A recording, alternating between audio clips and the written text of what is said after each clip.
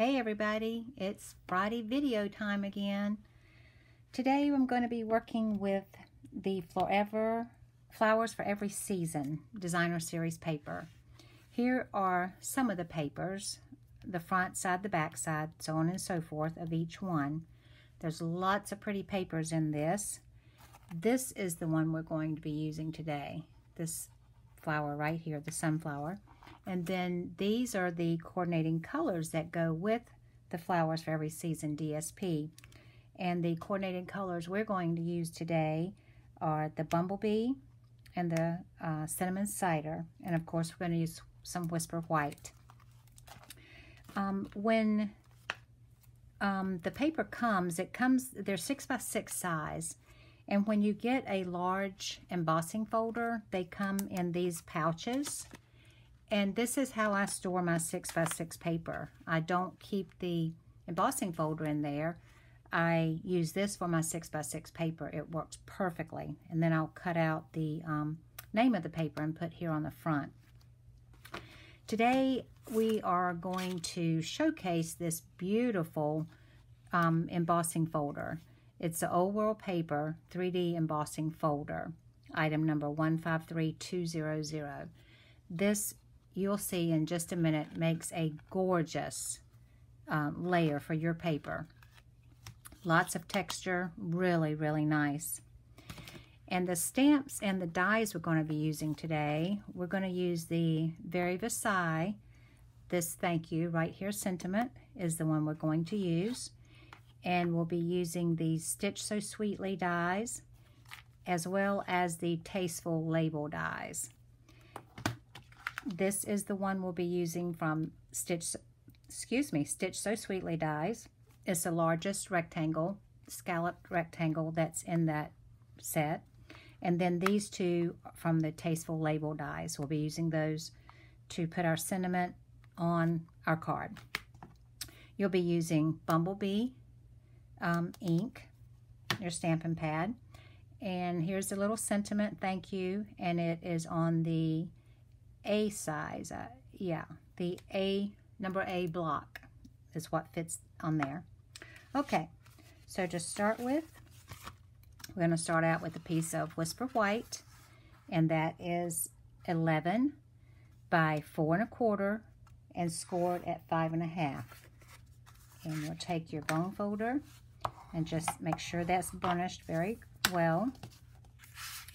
Then you have your piece of cinnamon cider that is five and a quarter by four. You're going to take it to your die cutting machine and run it through this embossing folder, just like this. Line it up on this line here and run it through your embossing or your die cut machine, whatever you have. And it comes out like this. Both sides of this paper is gorgeous. Either side you can use. But we're going to use this side today. We're going to take our multi-purpose glue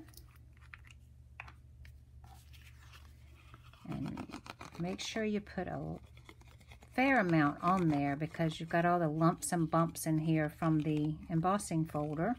You want to make sure it stays adhered down very well. Okay, make sure we got that open right and we're gonna just adhere that down to the card base here. Hold it down for a minute. Okay, and next we have the piece of um, Flowers for Every Season, DSP, and this measures 3 and 5 eighths by 2 and a half. This is from the the die, the rectangle die here. This is the bumblebee, so you'll cut that largest one out, and we're going to just adhere these two together. And that back side just as pretty. Very pretty DSP. Could work with these this paper all day. It's so pretty. Make all kinds of designs with it. Okay. And then we're just going to line this up here kind of so you can still see the stitching around. I'm going to put that down just like that. Make sure it adheres well. And I'm just going to kind of lay it out. I want that to go there. And here's our sentiment. I've already stamped it, the thank you. We're going to mount that here. We're going to glue that on this circular piece of cinnamon cider. Okay, going to put that down right in the middle. That multi-purpose glue is very forgiving. You can slip and slide it around for just a minute before it will adhere well. Okay, so I think I'm gonna have this laying here. I'm gonna have this part here, I think. And I'm also gonna use the cinnamon cider um, ribbon that matches the cinnamon cider paper, one of the end colors. I think what I'm going to do is make a bow. Get my bow jig out here that my husband made for me. This is the easiest little gadget to tie a bow there's ever been. Just do this. Run it up through there.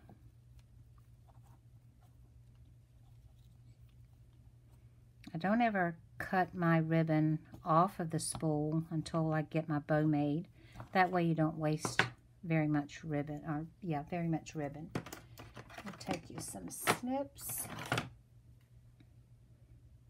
Snip it here, snip it there.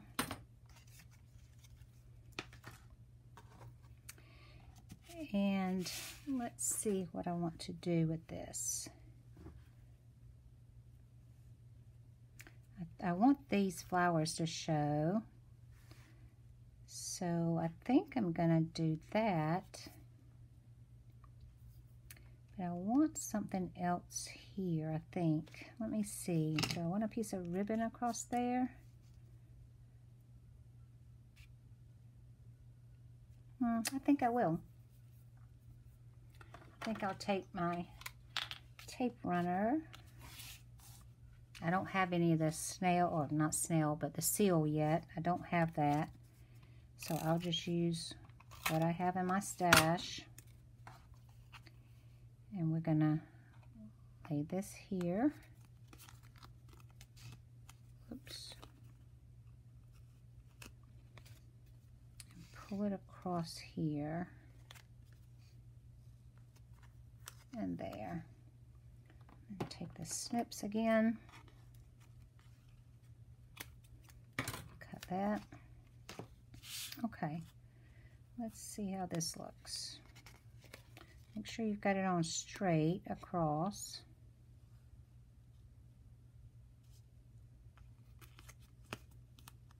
That. So I think I'm going to do that. I'm going to pop this up right here. And I think I'm going to put a bow up there. Okay. So now let's continue on then I'm going to use our multi-purpose glue.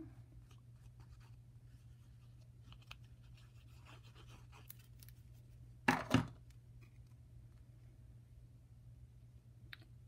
we're going to mount that right there. We're going to hold it down for a minute to make sure that it adheres to this embossing folder layer.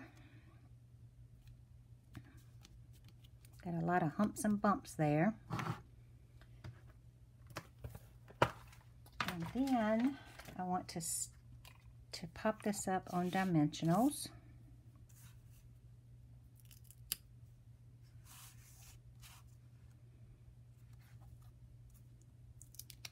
Just gives the card just a little bit more dimension.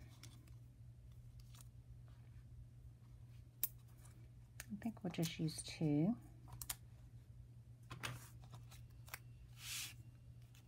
Okay. and we're going to put it hmm, right about there okay and then this pretty little bow that we tied you're going to have a pretty side and you're going to have an ugly side back here always look for your pretty side and now we're going to take a glue dot put on the back of the bow. I'm going to mount it right there in the corner. Okay. so you've got a pretty card, a thank you card. Um, haven't put anything on the inside yet. I uh, don't know who I might send this to or what I might want to just write in and not put a sentiment or I might put some other sentiment inside. Depends on what the thank you is about. So there's another quick card for today. Um, if you guys like the video, please give me a thumbs up, share, and comment specifically. That helps me um, get my subscribers up. Please subscribe. And if you like whatever you see here and want to make this card, I will have the dimensions, the sizes, um, all the measurements, and the products um, linked below the video. And it will take you right to my store and you can purchase those items to make your own card. So again, thank you guys today for joining me on this Friday. I am an independent Stampin' Up! Uh, demonstrator, Stampin' Up! demonstrator from the United States, and I look forward to doing a video for you guys every Friday. So um, mark your calendar if you want. 10 o'clock on Friday mornings is when it airs, and I'd love to have you subscribe to my channel.